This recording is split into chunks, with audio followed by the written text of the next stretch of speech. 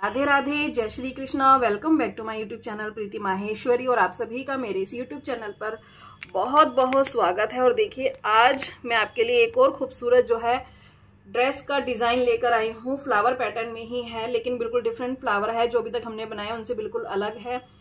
Colour जो है purple है डार्क पर्पल है और ऑफ़ वाइट है साथ में। कैमरा कैसा कैच कर रहा है इस कलर को? मैं अभी समझ नहीं पा रही हूँ, लेकिन बहुत खूबसूरत कलर है और आप खुद भी इमेजिन कर सकते हैं कि पर्पल और ऑफ़ वाइट का जो कॉम्बिनेशन है वो कितना प्यारा लगता है। और इस ड्रेस को आप किसी भी साइज़ में बना सकते हैं, क्योंकि मैंने ये जो कलियों वाला घेरा बनाया है, इसकी मैंने दो वीडियोस अपलोड करी हैं ज़ीरो से लेके दस नंबर तक के लड्डू गोपाल की और एक करी है बारह नंबर से लेके किसी भी साइज़ में, बीस, इक्कीस, जितना ही बड़ा साइज़ हो तो दोनों साइज़ में आप जो है इस घेरे को कैसे बना सकते हैं उसका लिंक डिस्क्रिप्शन बॉक्स में मैंने डाल दिया है, वहाँ से देखकर जो है आप बना लें। और उसके बाद ये फ्लावर वर्क हमने कैसे किया है स्टोन वर्क हमने कैसे किया है, वो हम आज की वीडियो में देखेंगे। वीडियो अच्छी लगे तो लाइक ज़रूर करना और कमेंट करके मुझे ज़रूर बताना कि आपको मेरी वीडियोज़ और डिज़ाइन जो है कैसे लगते हैं। और जिस जिसने अभी तक चैनल को सब्सक्राइब नहीं किया है, जो से वीडियोस वॉच कर रहे हैं, उन सभी से मेरी रिक्वेस्ट है कि प्लीज़ चैनल को सब्सक्राइब कर ले। बेल आइकन को प्रेस कर ले, क्योंकि इस तरह की इंटरेस्टिंग वीडियोस चैनल पर जो है रेगुलर अपलोड होती रहती हैं। ये देखिए, कितनी खूबसूरत ड्रेस है। बेल आइकन को प्रेस कर ले, ताकि जैसे ही मैं नई वीडियो अपलोड करूँ तो उसका नोटिफिकेशन आपको उसी समय पर मिल जाए। तो अपने लड्डू गोपाल के लिए जल्दी से इस खूबसूरत से ड्रेस डिज़ाइन को जो है बनाकर कंप्लीट करें।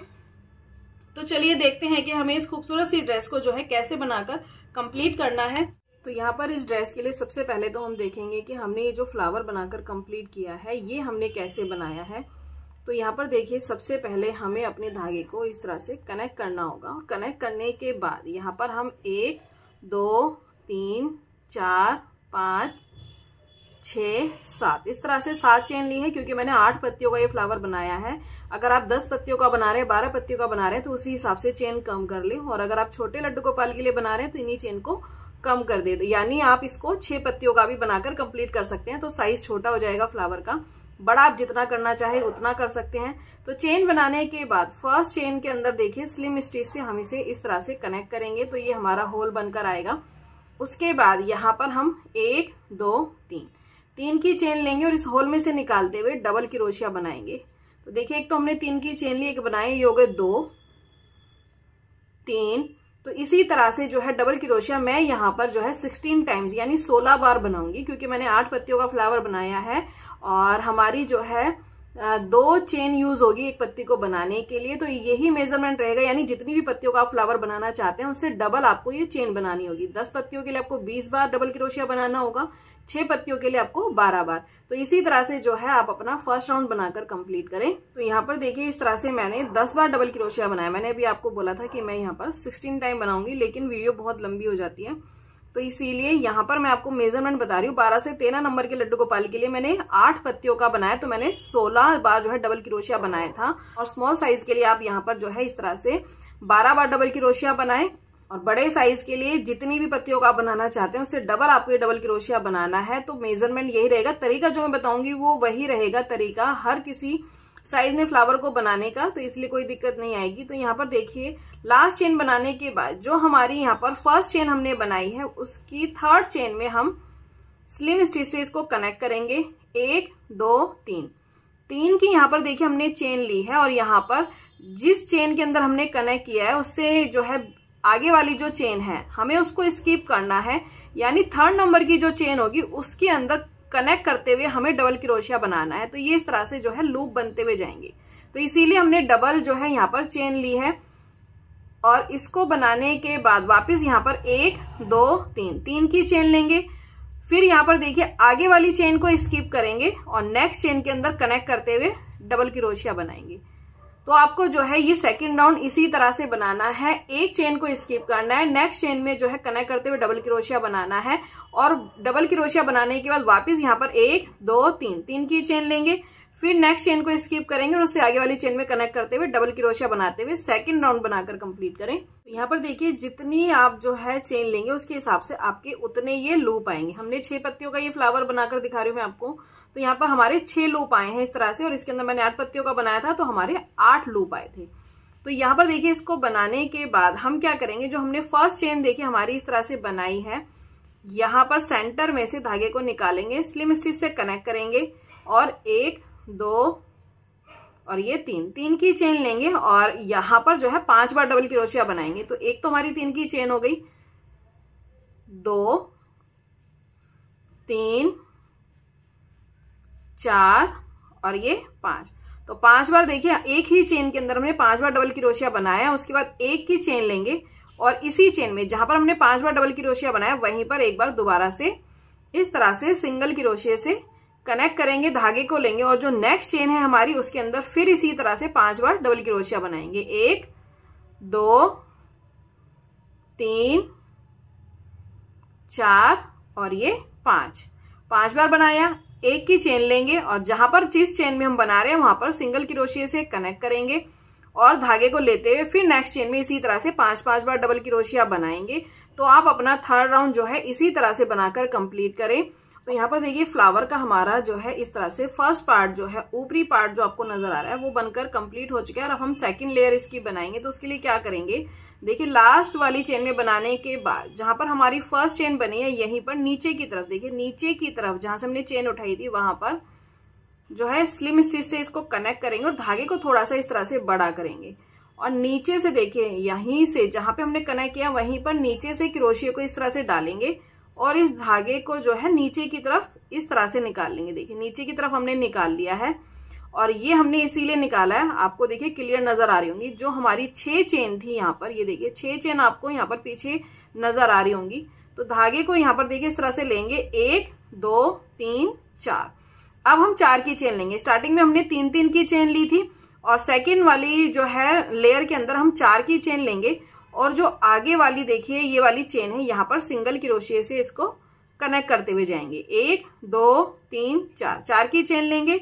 आगे वाली चेन में सिंगल क्रोशिया से कनेक्ट करते जाएँगे तो वापस हमारे पास जो है, इस तरह के छह लूप तैयार हो जाएँगे। और ये जो है छह पत्तियों का छोटा फ्लावर है, जितनी पत्तियों का आप बनाएँगे, उतना ये बड़ा होता जाएगा, यानी आठ का बनाएँगे तो थोड़ा और साइज़ बढ़ जाएगा, दस का बनाएँगे तो और बड़ा बन जाएगा तो जैसी ड्रेस हो आप उसके अकॉर्डिंग बना ले। तो वापिस से अपनी चेन इसी तरह से बनाकर इस फ्लावर में कंप्लीट करें। यहाँ पर देखिए हमारे पीछे की तरफ़ भी छह लूप वापिस से इस तरह से तैयार हो चुके हैं।